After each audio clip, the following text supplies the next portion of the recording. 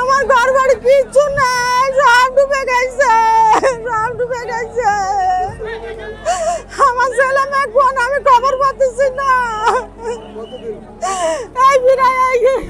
বৃষ্টি হয়েছে বাদি ভাত খাইছো কবে যে মনে নাই ওই বৃষ্টির দিন মনে হয় খাইছি দুয়ারে সেটা কাটিও পারি নাই সব পাইসে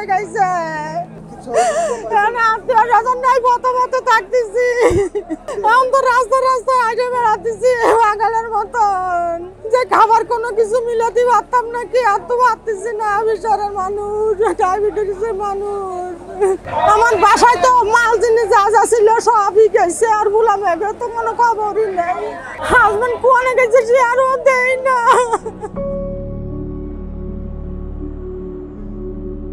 আমার নাম মোহাম্মদ জেনাল আবদিন, থানা দাগুনবিয়া জেলা ফেনী। আজকে প্রায় চার দিন পানি এখানে আমরা পানিতে বসবাস করতেছি। আমাদের খবর খবর তো কেউ নেই নেই। গতকাল সকালবেলা পুলিশের গাড়ি একটা পাইছি, আর সে জিজ্ঞেস করছে, জানি আমরা অনেক অসহায় হয়ে গেছি। মানে মানুষদের সাথে, আমাদের সাথে কোনো সম্পর্ক মানে বিচ্ছিন্ন হয়ে গেছে। জানি না আসলে কতটুকু হেল্প পাবো বা মানুষের সাথে সহযোগিতা পাবো, জানি না। কিন্তু এ পর্যন্ত কারও সহযোগিতা পাইনি। বাট আমাদের ঘর, বাড়ি জিনিসপত্র সব শেষ। রাত্রেবেলা থাকি বাইরে, ওখান থেকে আসি দিনের বেলা দেখি যাই যাই দেখি যে পানি এতটুকু থাকে।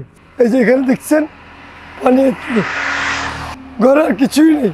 চারিদিকে শুনতেছি ডাকাতি হচ্ছে। যারা স্বেচ্ছাসেবিকা ছিল যাদের সাথে আমরা মানে গর্ব করছিলাম যে স্বেচ্ছাসেবকেরা আসবে। এরা তো আমাদেরকে কেউ আসেই নাই বাট অন্যদিকে শুনতেছি নাকি চুরি ডাকাতি করতে